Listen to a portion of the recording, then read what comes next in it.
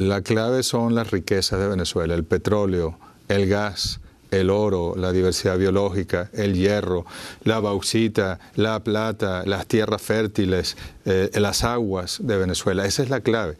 Quieren volver a tener control de los recursos de Venezuela como lo tuvieron hasta el año 1998 y manejarlos a su antojo para alimentar el capitalismo en el mundo. Eso no va a ocurrir.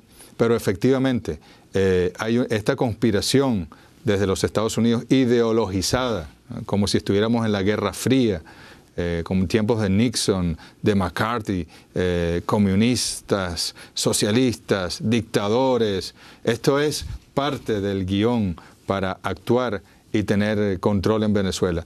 Pero en Venezuela hay unas instituciones, hay una constitución, hay un pueblo, hay unas fuerzas armadas. Y lo que están tratando es de que las instituciones se quiebren.